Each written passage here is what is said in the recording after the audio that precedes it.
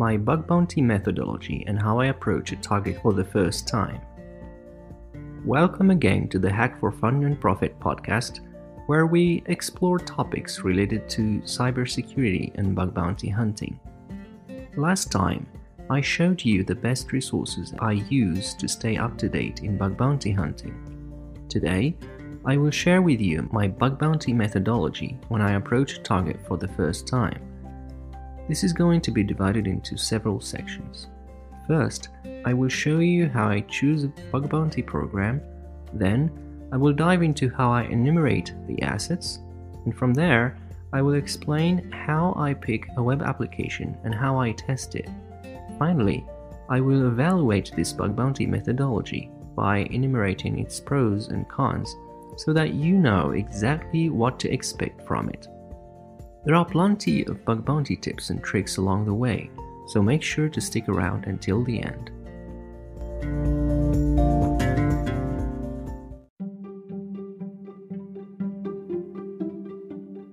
How I choose a bug bounty program. When I first started hacking, Hacker 101 didn't exist yet. I had to work on public programs which were tough to crack.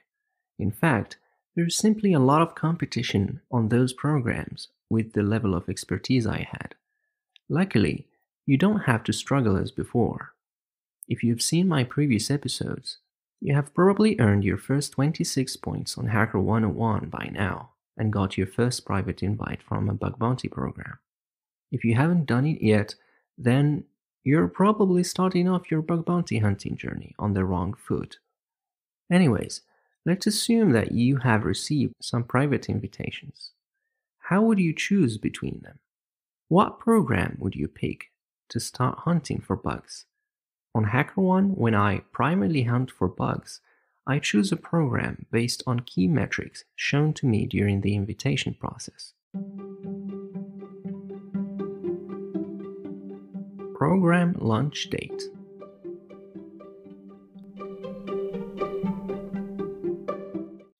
First, I see where the bug bounty program was launched in order to have an idea of how old the program is. This tells me whether I should spend more time on low hanging fruits or dig deeper during my testing, because unless there are new assets, most of the easy bugs would have already been found in an old program.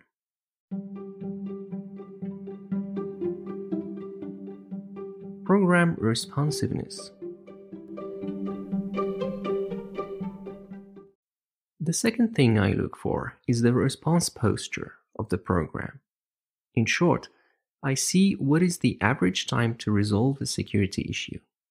If the program takes a lot of time to resolve security issues, it means that there is a higher chance of getting duplicates. Usually, all other response metrics, such as time to first response, time to triage, and time to bounty, are lower than the resolution time so the shorter it is, the better. You can also see the percentage of the reports which have met those response metrics.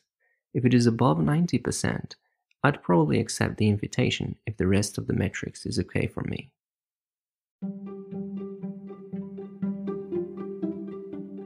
The scope of the bug bounty program. I usually prefer bigger scopes. For example, I would prefer wildcard domains over a single web application. It reduces competition because there is enough room to play with the different assets, and it makes the target less boring. However, I might accept a program with a small scope if they have a great response time or good rewards. Which leads me to the next point.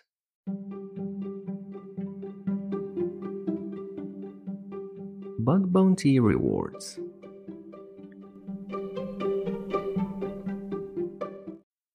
This is another criteria I look for. If I'm investing my time looking for security bugs, I would like to have a bigger return on my investment. So I would prefer higher paying bug bounty programs. I usually avoid programs with no reward, not only because of money, but also because the reputation you get is significantly lower.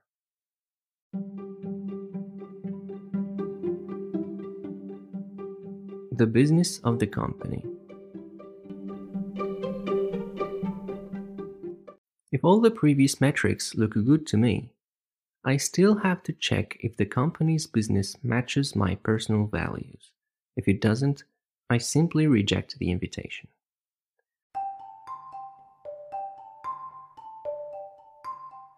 Alright, now that I have chosen the bug bounty program, how do I approach it?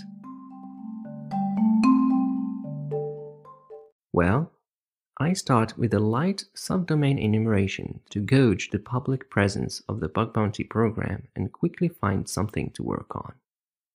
I used to do thorough enumeration, but I realized that it takes a considerable time. Because this is my first interaction with the target, I feel it's a bit early to perform a heavy enumeration.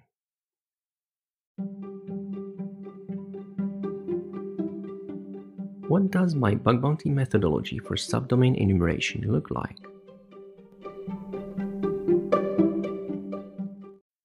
I start my subdomain enumeration with TomNomNom's assetfinder tool.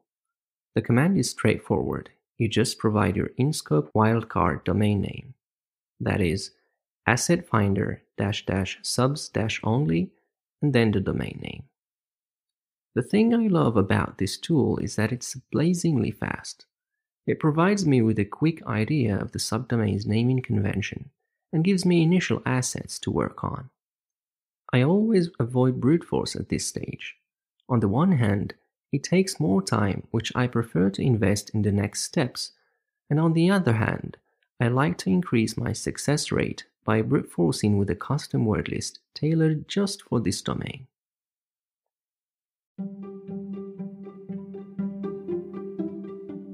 Bug bounty methodology to enumerate web applications.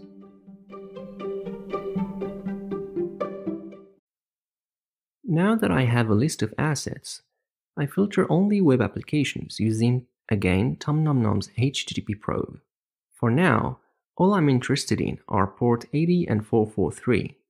The command again is easy to run. You just cat the file that you got from the previous steps and then pipe it to the HTTP probe. As a side note, if the program is new, I would probably use Shodan or perform a port scan using masscan to see if there are any web applications running on non-standard open ports. Lastly, I run Aquatone to screenshot the list of live web applications that I found using HTTP probe. There are two reasons I do that. On the one hand, I will be able to quickly spot any visual deviation from the common user interface. And on the other hand, I will get a bird's eye view of the different web application categories and technologies. This is possible because Aquatone groups similar user interfaces together and displays the web application's technologies in the HTML results.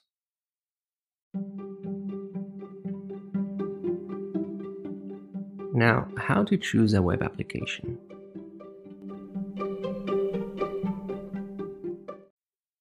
Hopefully, I now have some web applications to choose from.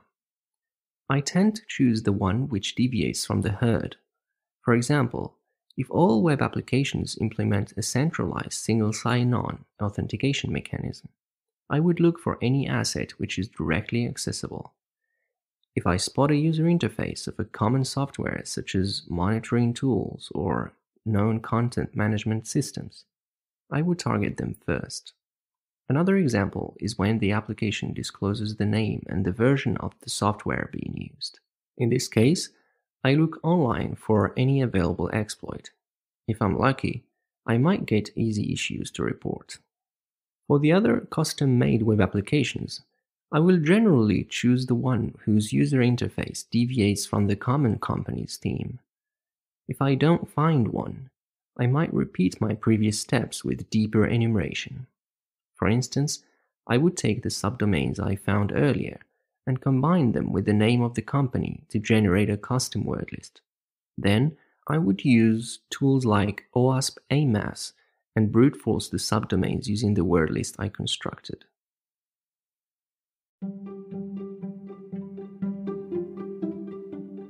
How I approach a web application.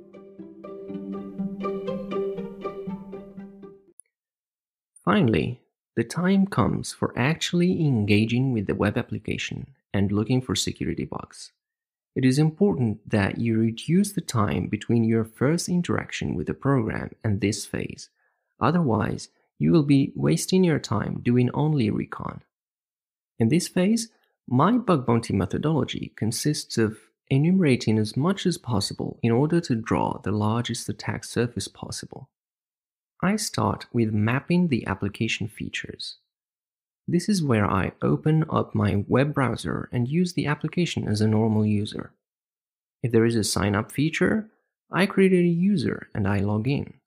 Then I make sure to visit every tab, click on every link, fill up every form. If it's an e commerce website, I create an order using a fake credit card. Meanwhile, I'm capturing all the traffic with Burp.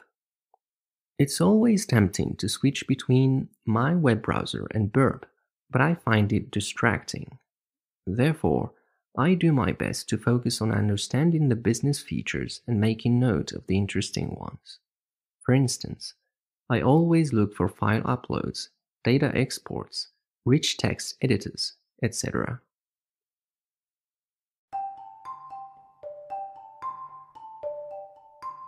I also try to understand the main application architecture and defense mechanisms. This is where I revise my burp traffic to answer specific questions. How authentication is made? Does the application use a third party for that? Is there any CSRF protection? If yes, how it is implemented? Are there any resources referenced using numerical identifiers? If yes, is there any protection against IDOR vulnerabilities? Does the application use any API? How does the application fetch data? Does it use a front end framework? What JavaScript files contain calls to the API? Does it use a backend framework? If yes, then what it is and which version is being used. These are the kinds of questions I try to answer when I first interact with a web application. Having a clear idea of the architecture and the defense mechanisms help me make a better plan of attack. I might also find weaknesses right away, which are generally application wide and have a high impact.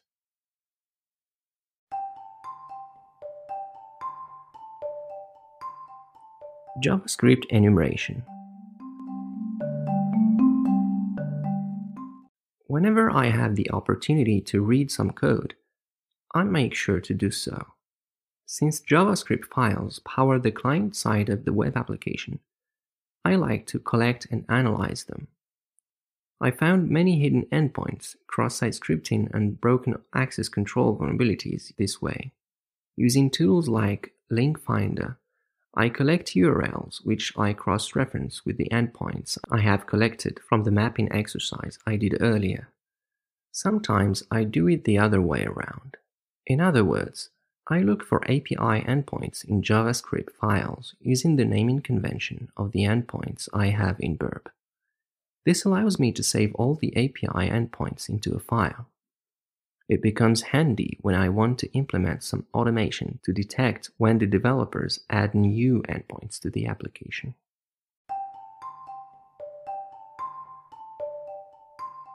Next, I focus on one feature at a time.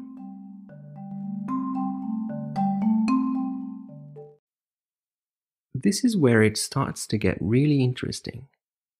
By now, I am comfortable navigating around and using the application normally.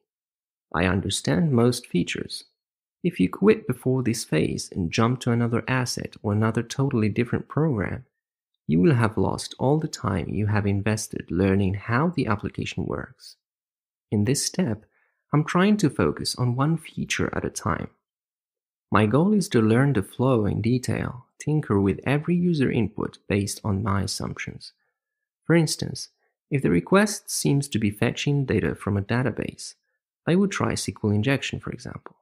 If the user input gets returned, I will try cross-site scripting, it all depends on your experience, but a solid start would be the OWASP Top 10, which I already covered in much detail in hands on training. Make sure to check it out on thehackerish.com.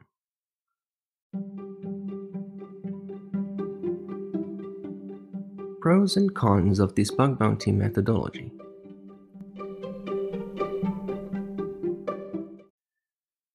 This bug bounty methodology is powerful in many ways. However, by no means this is the perfect one. It surely has its limitations as well. Let's start with the pros. Well, it's simple and minimal. In fact, it's a simple approach which requires minimal tools to yield the best initial results.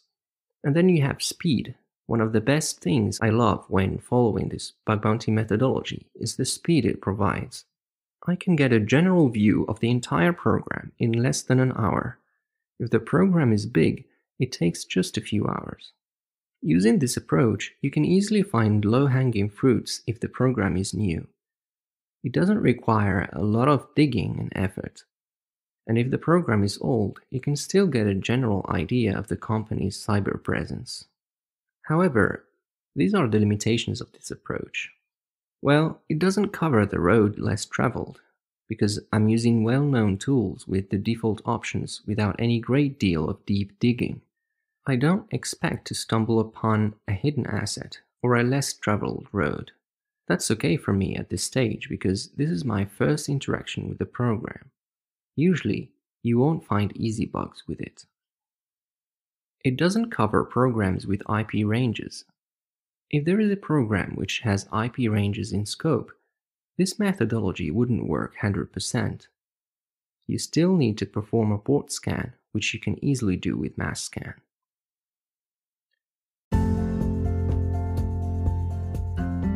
So there you have it, an end-to-end -end bug bounty methodology that you can use when you interact with a program for the first time. Rather than spending a lot of time doing extensive recon upfront, I find it more efficient to first assess the program's IT infrastructure while focusing on one or two web applications. I'd love to hear your thoughts and opinions on this bug bounty methodology. If you have any ideas on how to improve it, I encourage you to leave a comment describing how to do it. If you follow a different methodology, I'd love to know how you approach your bug bounty programs. I hope you find this episode helpful. If you did, then I'd appreciate you liking and sharing it. If you're not subscribed yet, join us to get updates whenever I publish new content. You'll find all the social links in the description. You can also reach out via email at service at thehackerish.com. If you want to read hacking blog posts, make sure you check out thehackerish.com. Until then, stay curious, keep learning, and go find some bugs.